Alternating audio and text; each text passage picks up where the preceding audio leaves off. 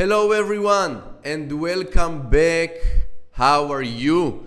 So, my name is Nitzan Steinberg, Grandmaster, and today we will start with a session of very interesting and instructive videos about the famous opening, the Sicilian Najdorf.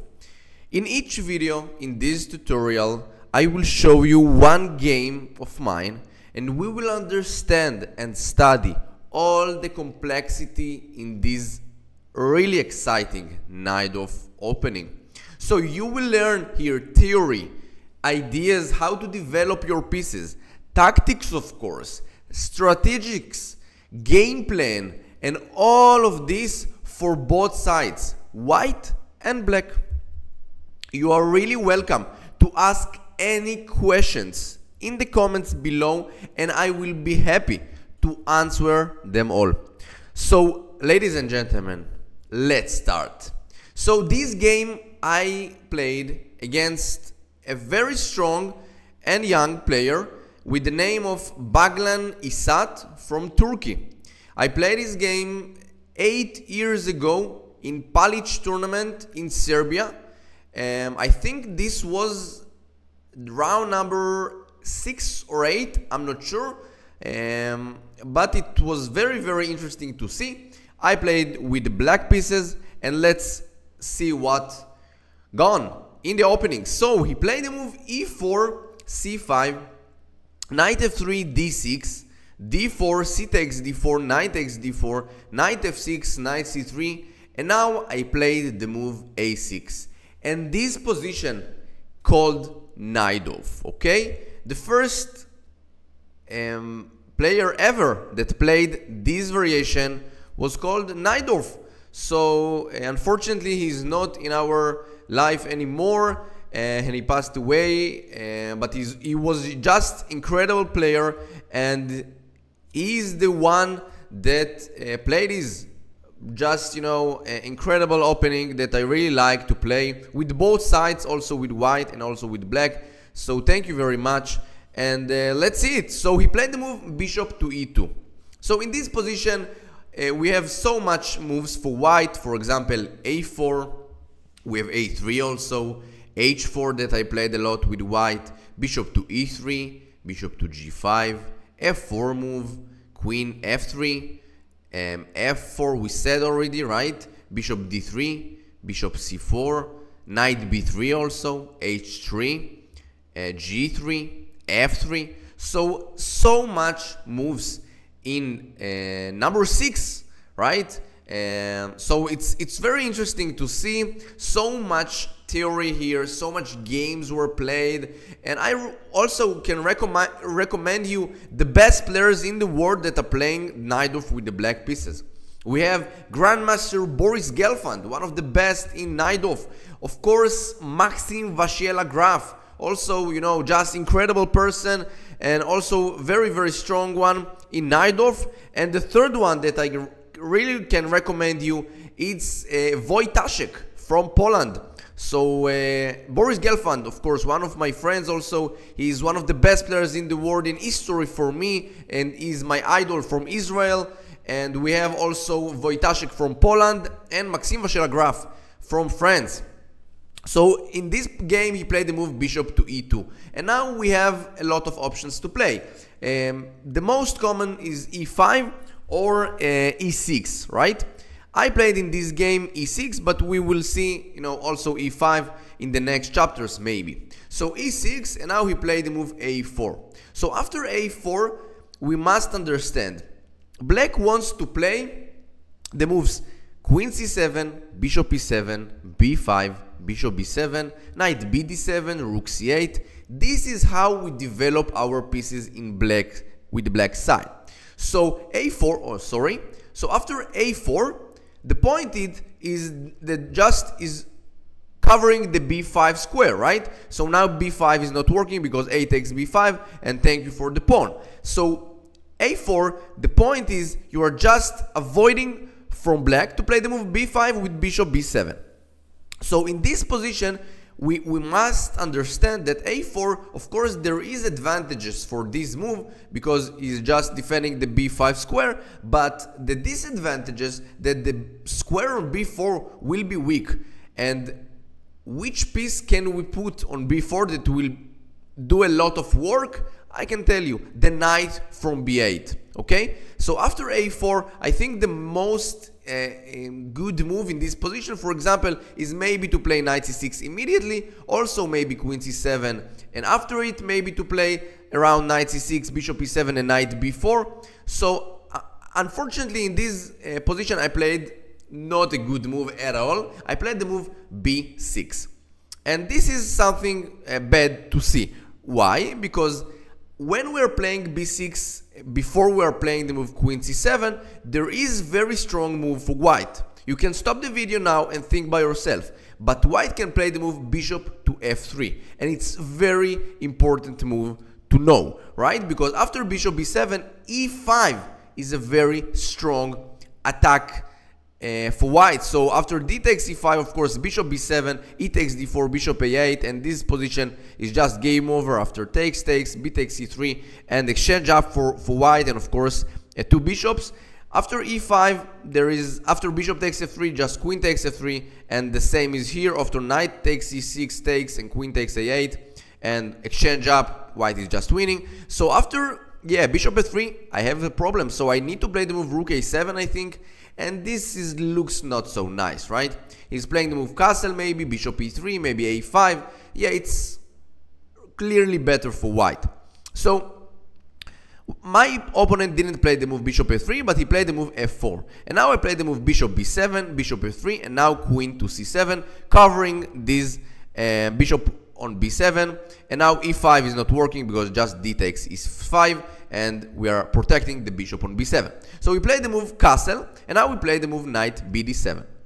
Queen e2 and rook c8, we are bringing another piece uh, into the development, right? So we have bishop here, we have knight here, knight here, and rook and queen are in this very important uh, line, right? The row is very, uh, not, not row of course, column uh, is very important, is file, right? Uh, so much words to explain this file. So as you remember, the first move in our game was e4 c5.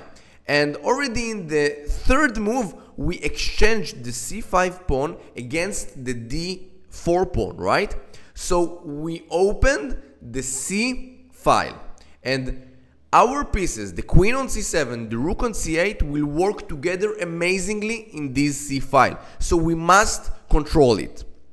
Why it's so important? Because this knight on c3 will be, uh, you know, annoying uh, by our rook, okay? And also the c2 pawn will be weak in some ideas. I will show you it in also in this game. So he played the move knight to b3. The point was also to play the move bishop e3. Also, maybe he thought about that maybe I will want to play e5 and after e5, for example, knight f5, I will take the pawn on f4 and putting the knight on e5 and it's very important square in the Sicilian. We will talk about it, of course. So he played the move knight b3. He didn't want to bring some options to play e5 and just avoiding it from with the knight b3. I played the move bishop e7, makes a lot of sense. And now after bishop e3, you know, the first move that you must think about is to play castle, right? Because we need to play castle. Always our coaches and our, you know, uh, studies in YouTube, we must castle. But, you know, in chess, it's not something uh, you, you, cannot uh, resist, right? Because in such ways, like you playing castle, maybe g4, g5 will come very fast and white will attack you, right? So you must think about it. And I really like to be flexible in Sicilian. So I played the move queen to b8. My point was to maybe sacrificing the rook on c3 and to take the pawn, sorry, on e4, okay? This is something very common in the Sicilian Najdorf to, to give the exchange uh, for the knight on c3. For example, I can show you, for example, king h1, maybe I can take, take, knight takes c4, and after it you will play the move castle, rook coming to c8, these double pawns will be weak, and I have very strong center, bishop f6, d5, knight c, uh, dc5, so I am doing great here. So rook c3 uh, makes a lot of sense in the Sicilian Najdorf, and it's something that you must know about these openings. But he played the move rook a e1, and now unfortunately after rook c3, it's not so good because b takes c3, knight takes c4, and I think just bishop d4, because now the g7 pawn is under attack, and also the knight on e4. So we must be, um, you know, to check twice before we're uh, um, giving the exchange on c3. So I played the move just castling. Bishop c1, uh, because now rook c3 it's it's very important right? Because b takes c3 knight takes c4 and now the g7 square is already protected by the king. So we play the move bishop c1 because now after rook c3 b takes c3 we cannot take the, the pawn on e4 so i play the move queen to a8 and now he played the move g4 and this is maybe one of the most important positions in this game. I think in general we must understand that g5 and maybe I don't know maybe bishop g2 queen h5 knight rook f3 rook h3 it's a little bit annoying. White is attacking us in the king side right? So I really want to ask you how can we attack him when he is attacking us in the king side right? So for example the first thought is maybe to play e5 but the problem that he will play g5, knight e8 and f5. And as you can see, he has so much control in the center and also in the king side. Maybe bishop g4, f6, g6, queen g2, so much attack and also knight d5 in some ideas. So our very bad pieces here, right? They're doing nothing. So for example, let's see maybe d5, but unfortunately after e5, knight e4, bishop takes e4, d takes e4, bishop e3, our bishop and a queen are doing nothing, right? So it seems like now white will have the opportunity maybe to play king h1, rook g1, maybe g5, maybe f5, and somehow to attack knight d4 maybe, right? And our our pieces in the queen side not doing enough, okay? So I thought how can I do something to, to protect from g5? I played the move h6 and my idea was a little bit more, um, you know, uh, complex from, from this position. After g5, I will take it and play knight h7 and now just knight e5 will bring and this square from the knight is just amazing. He's controlling everything here, right? He's very strong and nobody can, uh, can push him right away. So it's it's very good. I think h4 95 and yeah, it's it's brilliant position I think. For black, rook c4, rook is here. Also knight is covering this pawn on f7. Maybe after it knight f8, knight d7. It seems very strong and I don't believe about uh, the white's attack here. So he played the move h4. It makes a lot of sense because now g5 is a threat. But no, I will play the move d5. And after e5, 94, bishop takes d takes, don't forget the h4 pawn is under attack because after bishop e3 we will just take the pawn on h4 and we are up a pawn. So in this position he played the move g5. And now I really want to ask you, what is your move?